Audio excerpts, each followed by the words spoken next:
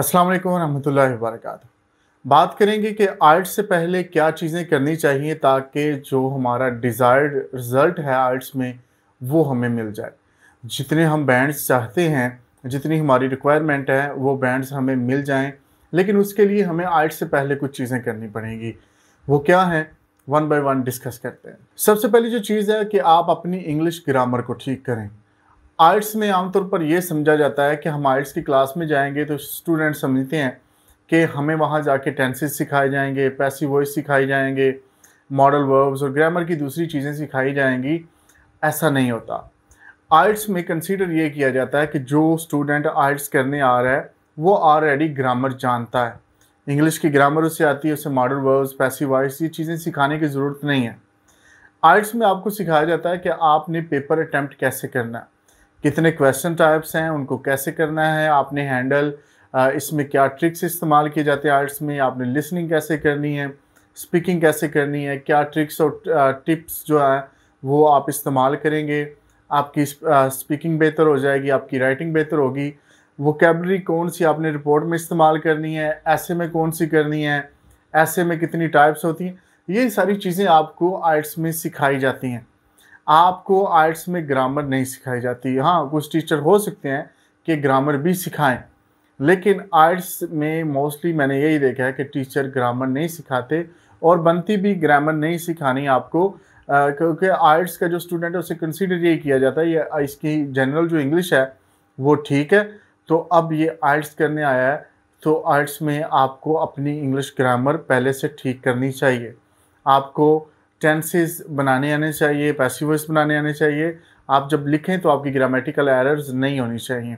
آپ جب بولیں تو آپ کو پتہ ہونا چاہیے کہ میں پاسٹ ٹینس میں بات کر رہا ہوں پریزنٹ میں کر رہا ہوں یا فیوچر میں کر رہا ہوں، یا اگر میں نے کسی ٹینس میں بات کرنی ہے تو وہ کیسے کرنی ہے۔ دوسری جو بڑی اہم چیز ہے وہ ہے کہ آپ کو اس قابل ہونا چاہیے کہ آپ کو انگلش کی بغیر ٹرانسلیٹ کیے سمجھ آئے۔ ایسا نہیں ہونا چاہیے کہ آپ کسی کی بات سن رہے ہیں تو آپ تھوڑا سا رک گئے ہیں اور اس کو ٹرانسلیٹ کیا آپ نے دماغ میں، پھر آپ نے بات کی اس سے۔ یا آپ مووی دیکھ رہے ہیں، کچھ چیز سن رہے ہیں انگلش میں، تو آپ کو آٹومیٹک اس کی سمجھ آنی چاہیے۔ آپ کی لسننگ اتنی اچھی ہونی چاہیے، آپ کی انگلش کی انڈرسٹینڈنگ اتنی اچھی ہونی چاہیے کہ آپ کو بات سمجھ آنی چاہیے۔ یہ نہ ہو کہ آپ سے کوئی بندہ بات کر رہا ہے یا آپ انگلش سن رہے ہیں تو آپ بار بار ڈکشنری دیکھنا شروع ہو جائیں۔ آپ گوگل ٹرانسلیٹر کا استعمال کرنا شروع کر دیں۔ تو یہ چیزیں پھر آپ کو آرٹس میں ہرٹ کریں گی۔ آپ کو اس قابل شروع میں ہونا چاہیے کہ آپ انگلش سنیں۔ آپ کو خود بہت سمجھ آنی چاہیے آٹومیٹک سمجھ آنی چاہیے۔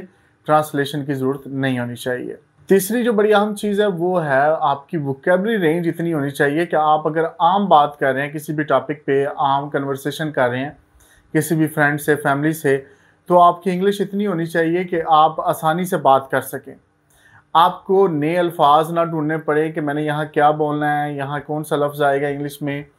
تو آپ کے پاس اتنی وکیبلری ہونی چاہیے، آپ کی رینج اتنی وکیبلری کی ہونی چاہیے، آپ جنرل انگلش میں اچھی خاصی بات کر سکیں۔